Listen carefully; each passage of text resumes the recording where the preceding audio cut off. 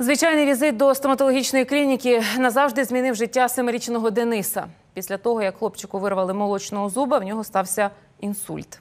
Виявилося, пережитий стрес запустив у його організмі механізм рідкісної генетичної хвороби. Сьогодні Денису потрібно зміцнити сусуди в його голові, аби, аби інсульт не повторився. Для цього треба поставити спеціальні катетери. Вони коштують 280 тисяч гривень. І в родині Дениса їх нема. Їм потрібна ваша допомога. Семирічний Денис на гойдалці намагається підлетіти якомога вище, та батьки не дозволяють. Денис, хватит это ты сильно рассказывать.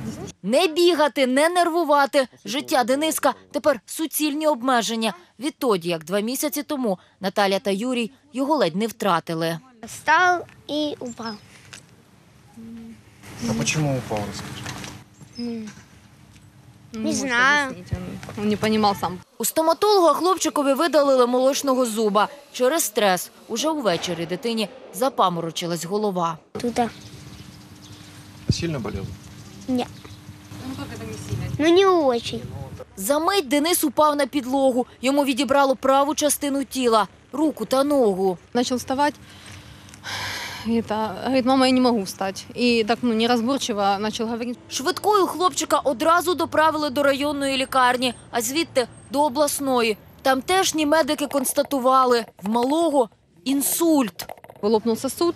Э, Что спровоцировало, никто не может сказать. А за два тижні реанімації з'ясували й причину. Параліч спричинила генетична вада мізку. Какие-то вот сосудики, они не доформировались, и как бы получился такой клубочек. Небезпека в тому, що через перепади тиску вони в будь-який момент можуть луснути знову. І якщо батьки тримаються, а сам Денис небезпеки ще не розуміє, його старша сестричка в розпачі. Все будет хорошо с Денисом, да? И Операция пройдет успешно.